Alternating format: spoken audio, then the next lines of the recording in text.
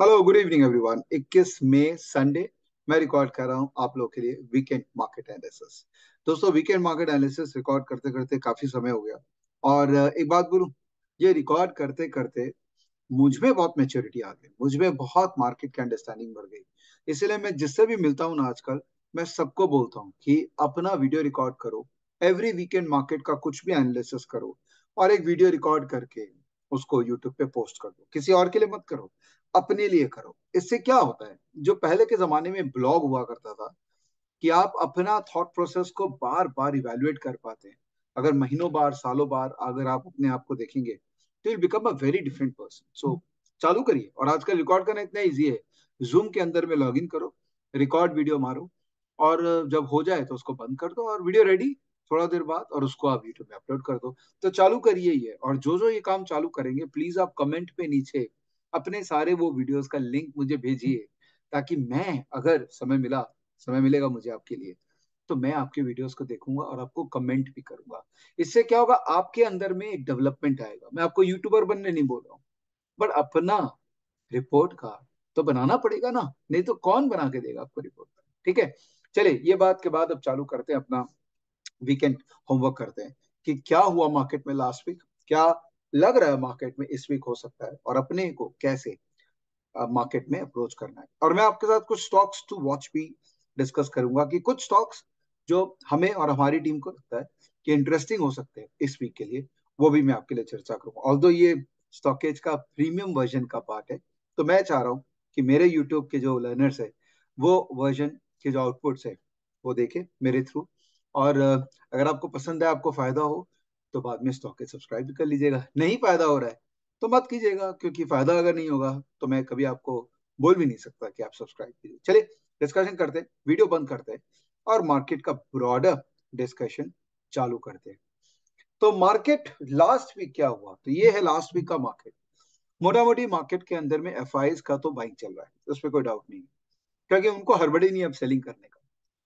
मैं सरप्राइज़ हूँ इस बात से, क्योंकि वहाँ अगर ब्याज दर पाँच परसेंट से ज़्यादा हो चुकी है तो मुझे नहीं समझ में आ रहा कि क्यों एफ़ आई बाय करे तो इसका मतलब ये जो एफ़ आई बाहर से आ रहे हैं ना, ये कौन है ये पता करना बहुत ज़रूरी है। और देखिए इलेक्शन का समय इलेक्शन के अंदर में टिपिकली देखा गया है कि जो रूलिंग पार्टी होती है, उनका इंटेंशन होता है कि भैया सब कुछ पॉजिटिव रहे। और शेयर बाज़ार में पॉजिटिविटी होती है ना, तभी अच्छा लगता है। तो मुझे लगता है run up to the market election definitely market positive रहना चाहिए।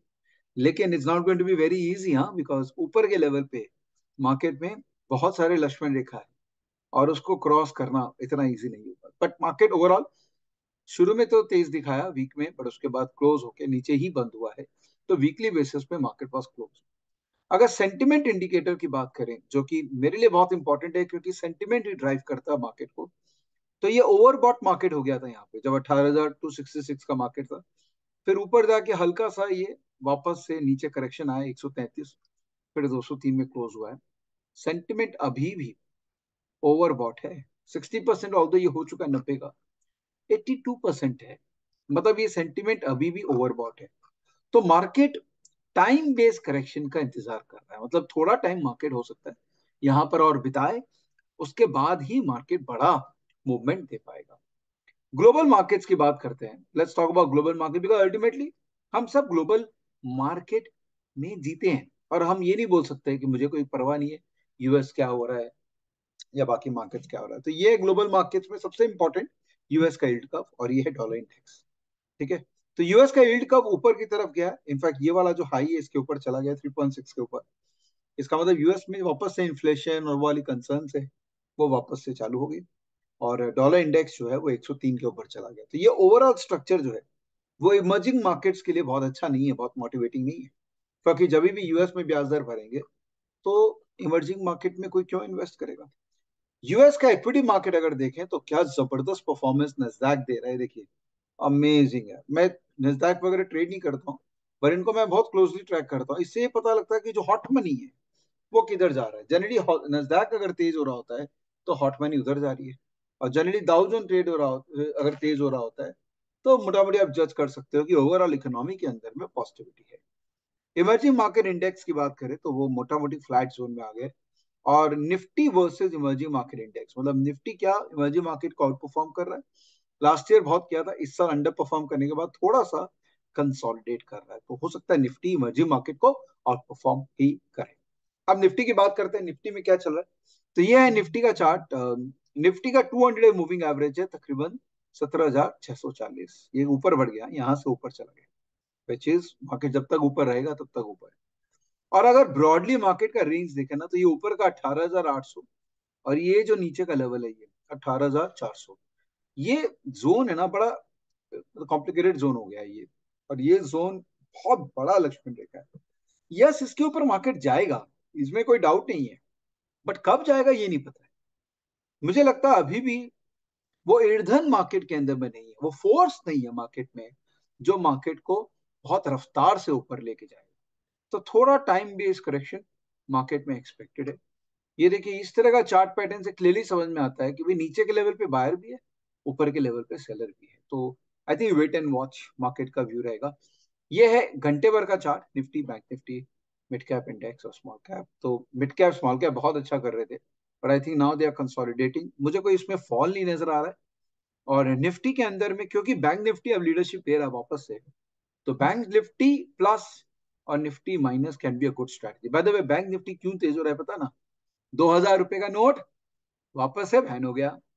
तो उससे क्या होगा? जो पैसे आएँगे, वो बैंक में जमा होंगे। और मैक्सिमम पैसे कहाँ जमा होते हैं बैंक में? पीएसयू बैंक में। तो आप देखो बैंकिंग सेक्टर जो है, वो यहाँ से ओवरऑल एक पॉजिटिविटी में लॉजिकली रहना चाहिए।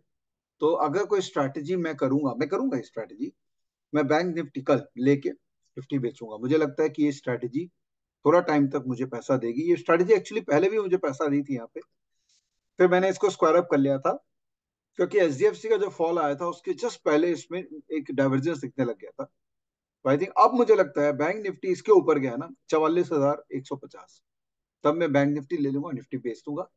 For the sake of security of hedging because मुझे नहीं लगता मार्केट 18,450 को बहुत जल्दी तोड़ पाएगा। और एक बार निफ्टी का वो देख लेते हैं अपने पुट कॉल रेशियो और वो सब स्टडी कर लेते हैं। तो निफ्टी के अंदर में सबसे पहले देखते हैं ये आ, ये जो एफ़ है ये क्या पोजिशन बना रखे तो फ्यूचर ओ के अंदर में देखें तो एफ़ का पोजिशन जो है वो माइनस हल्का सा माइनस है। बहुत ज़्यादा नहीं देखिए पहले तो इतना ज़बरदस्त माइनस था। लेकिन अभी हल्का सा माइनस है तो which is kind of flat ही मान लेते हैं। और ऑप्शंस का ओपन इंटरेस्ट जो ऑप्शंस का भी डेटा हमने ऐड किया था हाल फ़िलहाल में तो इसमें एफ़ का पार्टिसिपेशन देखे तो कॉल के अंदर में दो लाख पचहत्तर हज़ार ओ खड़ा है। पता उन्होंने कॉल बेच रखा है दो पचहत्तर, और पुट उन्होंने बेच रखा है तीन लाख। इसका मतलब पुट ज़्यादा बेच रखा है। पुट ज़्यादा बेच रखा है, इसका मतलब उनको एफ़ को मंदी तो नहीं लग रही है मार्केट में। तो बड़ा ही यूनिक सा सिचुएशन पे मार्केट खड़ा है कि किसी को मंदी नहीं खेलनी है और तेज़ी खेलने के लिए पैसा आना पड़ेगा। पैसा कहाँ से आएगा? यूएस में इंटरेस्ट रेट इतने हाई है कि इंडिया में भर भर के तो पैसा नहीं आने वाला है। और इंडियन इन्वेस्टर जो है वो ऑलरेडी इतना स्टॉक होल्ड करके रखे हैं कि उसमें उनके पैसे नहीं बन रहे। और एफ़ डी जो है म्यूचुअल फंड्स वो अपना एसआईपी का पैसा इंडिया में डालते जा रहे हैं। उसका लार्जली लार्ज कैप वगैरह बेनिफिशियरी होते हैं। तो बड़ा अजीब सा सिचुएशन हो गया मार्केट में। मैं कॉशियसली बुलिश हूँ। मैं मंदी में तो एकदम भी नहीं please don't get me wrong और पता है निफ्टी और बैंक निफ्टी में तो बहुत छोटे अमाउंट के लिए खेलना चाहिए। अगर कोई खेलता है तो। खेलना ही होता है भाई। में तो खेल ही रहे हो। इन्वेस्टिंग में खेलते नहीं हो। डेरिवेटिव्स में ट्रेड कर रहे हो तो खेल ही तो रहे हो। तो मैं अगर डेरिवेटिव्स कर, मैं निफ्टी, बैंक निफ्टी में रेशियो में जनरली काम करता हूँ या करता हूँ थोड़ा बहुत। तो मैं बेच के खेलूँगा बट छोटा, बहुत छोटा मे बी सौ पॉइंट निफ्टी या डेढ़ सौ पॉइंट निफ्टी, बस, उससे ज़्यादा मेरे को करना ही नहीं है बिकॉज़ मुझे पता है इंडिया को मैं बेच तो नहीं सकता हूँ, लेकिन स्टॉक स्पेसिफिक काम तो बहुत हो रहे हैं, बाबा, बहुत ज़्यादा इनफैक्ट टाइम ही नहीं है, इतना काम है स्टॉक स्पेसिफिक तो मैं, जैसा कि मैंने प्रॉमिस किया था, मैं आपको दस स्टॉक बताता हूँ, जो हमारे एज रिपोर्ट के अंदर में, ये प्रीमियम वर्जन का पार्ट है। हम ये स्टॉक्स टू वॉच देते हैं हर वीक और ज़बरदस्त है। बहुत अच्छा परफॉर्मेंस है स्टॉक्स का। तो अब मैं क्या करूँगा, हर वीकेंड में आपको ये स्टॉक्स को एक बार एनालाइज करके बताऊँगा। ठीक है? तो सबसे पहला स्टॉक हो गया मिंडा कॉर तो हम क्या करेंगे? हम ये सारे स्टॉक्स को यहाँ पर एक वॉच लिस्ट बनाएँगे ट्रेडिंग व्यू में और यहाँ पर इन सारे स्टॉक्स को ऐड करेंगे, ठीक है? तो मिंडा बिकॉज़ ये शॉर्ट टेन्योर के स्टॉक्स है तो डेली और टू आवरली चार्ट में मुझे इनको ट्रेड करना है। तो ये मिंडा कॉर्प है। मिंडा कॉर्प का क्या है? डेली के अंदर में स्ट्रॉन्ग स्टॉक है, बहुत ही अच्छा है तो। और टू आवरली के अंदर में जस्ट बाइंग जोन में आया है और रिलेटिव स्ट्रेंथ भी कितना प्यारा। वाह वाह! ये तो बहुत ही प्यारा स्टॉक है। तो मैं इसको यहाँ राइट क्लिक करके इसको यहाँ पर अलर्ट में डाल देता हूँ कि जब ये इसको क्रॉस करेगा तो मेरे को पता लग जाए। ये ट्रेडिंग व्यू के अंदर में बहुत ही प्यारा फैसिलिटी है। ये इनफैक्ट स्टॉकेज में भी है बट मुझे ट्रेडिंग व्यू इसलिए पसंद है बिकॉज़ मैं प्रोफेशनल फुल टाइम ट्रेडर हूँ। तो इसीलिए ट्रेडिंग व्यू मुझे ज़्यादा कन्वीनियंट लगता है। आप स्टॉकेज में भी इधर जाएँगे मिंडा कॉर्प में। और यहाँ पर आप अगर एच चार्ट में देखेंगे तो यहाँ पर भी आपको मूवमेंट चार्ट में दिख जाएगा। क्योंकि मैं इसको वीकली ट्रेड के हिसाब से देख रहा हूँ तो मैं टू आवरली चार्ट के हिसाब से एंट्री करूँगा और टू आवरली के हिसाब से ही एग्जिट करूँगा। दूसरा है इंजीनियर्स इंडिया इंजीनियर्स इंडिया चलिए इंजीनियर्स इंडिया ऐड कर लेते हैं। इंजीनियर्स इंडिया में क्या चल रहा है? वाह, देखिए मोटा मोटी दोनों ही स्टॉक के अंदर में इंजीनियर इंडिया का थोड़ा रिस्क रिवॉर्ड मेरे को उतना कम अच्छा अच्छा नहीं लग रहा बिकॉज़ अब देखिए इसके अंदर में ऑलरेडी uh, काफ़ी बढ़ चुका है। यहाँ से अगर पकड़ते तो अच्छा पैसा मिलता। बट आई थिंक ये जो बेस यहाँ पर इसने दो बार बनाया ना this is a very good base तो यहाँ पर आप स्विंग का अपॉर्चुनिटी ढूंढ सकते हैं इंजीनियर इंडिया के अंदर में। उसके बाद चलते हैं अपने फ़र्स्ट सोर्स सोल्यूशन इंटरेस्टिंग ये एक ईगल स्टॉक भी है भाई देवे हाँ। फ़र्स्ट सोर्स सोल्यूशन में आ जाते हैं। फ़र्स्ट सोर्स सोल्यूशन एफएसएल ये भी मोटा मोटी काफ़ी अच्छा मोमेंटम पे है, काफ़ी स्ट्रॉन्ग मूव दे चुका है। रिस्क रिवॉर्ड उतना फेवरेबल नहीं है आई थिंक ये थोड़ा नीचे आए। यहाँ के लेवल के आसपास आए, तब तो इसमें फ़ायदा है काम करके, नहीं तो अभी इमिडिएटली इस पे हम कुछ काम नहीं करेंगे। उसके बाद है मेट्रो ब्रांड्स मेट्रो ब्रांड्स आ जाते हैं। Metro Brands sorry about it मेट्रा हो गया ये। मेट्रो ब्रांड्स चलिए। मेट्रो ब्रांड्स के अंदर में क्या चल रहा है? ये भी देखिए, काफ़ी अच्छी स्ट्रेंथ पे है। ये इनफैक्ट बेटर चार्ट है। बेटर चार्ट है ये। आपको यहाँ से अच्छा रिट्रेसमेंट सपोर्ट मिलेगा। हर तरह से स्टॉक के अंदर में मोमेंटम है। तो this is a better chart तो आई थिंक यहाँ इसको अपने एक अलर्ट इसमें ऐड कर देते हैं कि इसके ऊपर गया अगर तो फिर मुझे पता लग जाए। एक्चुअली अभी मार्केट के अंदर में ब्रेकआउट अपॉर्चुनिटीज़ काफ़ी मिल रही है। जिसके कारण आपको काफ़ी स्टॉक इस तरह से मिलेंगे जो ब्रेकआउट रैमको सीमेंट ये सीमेंट स्टॉक्स में आग लगी हुई है। मुझे लगता है आने वाले छह महीनों में सीमेंट के अंदर में काफ़ी काम होने वाला है। तो इस पे आप ध्यान रखिएगा, आठ परसेंट ऑलरेडी तेज है। ओहो, ये तो बहुत ही महँगा हो गया। ऑलरेडी रिस्क रिवॉर्ड इसका बहुत अनफेवरेबल हो गया। आई थिंक थोड़ा रिट्रेस करे, इस लेवल के 800 के आसपास आए। तब दिमाग लगाना चाहिए बिकॉज़ ये लेवल पे ही एक तरीके का सुपर ट्रेंड सपोर्ट भी है। और एक मान लीजिए ब्रेकआउट यहीं से ही मेजर हुआ है तो यहाँ पे करके अपने एक अलर्ट ऐड कर देते हैं स्टॉक के अंदर में भी, ठीक है? उसके बाद है तो काफ़ी ब्रेकआउट स्टॉक्स हमने यहाँ मेंशन कर दिए। Mastek limited Mastek limited Mastek limited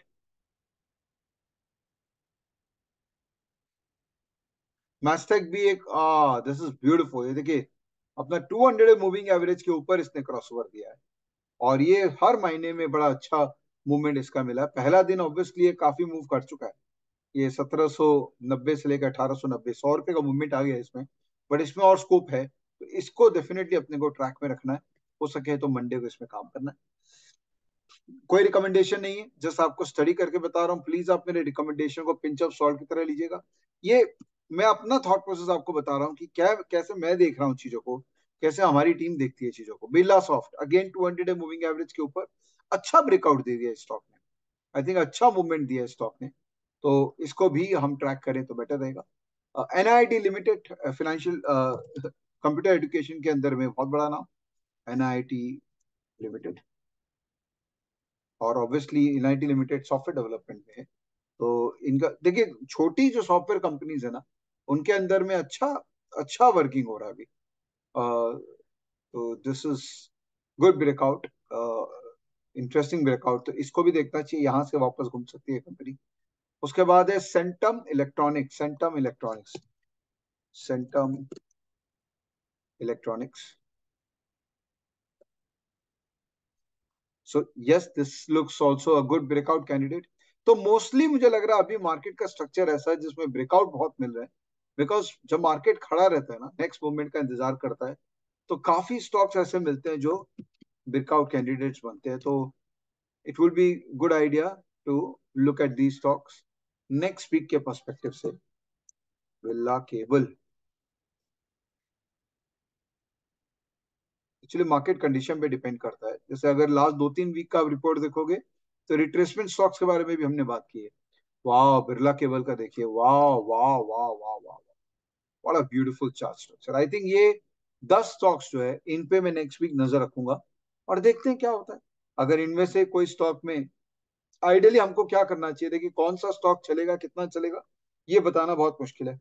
तो आइडियली इन स्टॉक्स के अंदर में अगर मंडे को आ, कोई भी स्टॉक इसमें पॉजिटिव मोमेंटम दिखाता है कंटिन्यूड मोमेंटम तब छोटा छोटा पैसा से उस स्टॉक में पोजिशन बिल्ड कर सकते हैं। आप अगर देखना चाहते हैं कि पुराने स्टॉक्स कैसे परफॉर्म किए इसमें तो यहाँ पर पुराने रिपोर्ट्स भी है। तो आप पिछले वीक का एक रिपोर्ट देख सकते हैं कि अल्टीमेटली जो स्टॉक्स यहाँ पिछले वीक में थे, वो कैसा परफॉर्म किए हैं इस वीक जैसे एग्जांपल ले लेते हैं कि last week rainbow child medical था तो वो लास्ट वन वीक के अंदर में कैसा परफॉर्म किया तो वो देखने के लिए आप टेक्निकल्स में जाइए। और यहाँ पर वन वीक का परफॉर्मेंस देखिए तो ये 5.46 परसेंट स्टॉक तेज था। ऐसे करके आप वीकली बेसिस पे हर स्टॉक को ट्रैक कर सकते हैं कि क्या ये स्टॉक जो यहाँ मेंशन किए गए हैं, ये रिलेटिवली अच्छा परफॉर्मेंस देते हैं कि नहीं देते हैं। देखिए electron engineering last one week के अंदर में ग्यारह परसेंट तेज था। तो these are good stock list for someone who can not find stocks on his own उसके अलावा आई थिंक आप स्टॉकेज के अंदर में जो कॉम्बिनेशन जो मैं यूज़ करता हूँ फीपा सेपा आर एस स्टॉक्स देखिए आर एस के अंदर में कई स्टॉक्स जैसे मिल जाएँगे जो प्रॉब्ली इन स्टॉक्स के में भी आते हैं। तो ये सब कुछ स्टॉक्स है जो पावरफुल हैं और इनमें हाई मोमेंटम है तो इनमें पार्टिसिपेट किया जा सकता है। तो बेसिकली जब हम स्टॉक्स में काम करने की बात करते हैं तो या तो आप इन्वेस्टिंग करते हैं वैल्यू इन्वेस्टिंग लॉन्ग टर्म के लिए तो वो एक अलग जनेवर है। या तो आप मोमेंटम ट्रेड करते हैं, जिसमें आप स्टॉक पे 10-15 परसेंट का मूव पकड़ने की कोशिश करते हैं, तीन परसेंट का स्टॉप लॉस में, ये छोटा स्विंग का हो गया। और थोड़ी लंबी अवधि का स्विंग लाइक 20 दिन 25 दिन, तीन महीने, दो महीने के लिए पीरियड के लिए तो वहाँ आप सात आठ परसेंट का स्टॉप लॉस और बीस, पच्चीस परसेंट तीस परसेंट का मूव पकड़ने की कोशिश करते हैं। सारे साइंस स्टॉक मार्केट में पॉसिबल है। आपको बस सीख के कोई एक साइंस को अडेप्ट करना है प्रैक्टिस करना है, और प्रैक्टिस करते करते परफेक्शन आ जाती है। ऐसी बात नहीं है, बस खाली जेन्यनली ऑनेस्टली अच्छे तरीके से मार्केट में इन्वॉल्व रहना है। अगर आप खाली टिप लेते रहेंगे दूसरे लोगों से, तब मुश्किल होगा। ये जो दस स्टॉक मैंने आपको बताया, इसको आप टिप मत समझिएगा। ये एक स्टडी मैंने आपके साथ शेयर की है। और आप स्टॉकेज के अगर मेंबर बन जाते प्रीमियम मेंबर इनफैक्ट आप स्टॉकेज क्लब के मेंबर बन जाए, जहाँ पर प्रीमियम प्रो सब कुछ अवेलेबल तो वहाँ पर आपको एनीवेज बहुत सारे स्टॉक आइडियाज़ मिलते हैं, जो परफॉर्म करते ही हैं। विथ लॉजिक हम खाली आइडिया नहीं देते, हम एक रीजन भी देने की कोशिश करते हैं। चलिए thank you good night have a great week ahead ध्यान रखिएगा. मिलते हैं. बहुत बाय बाय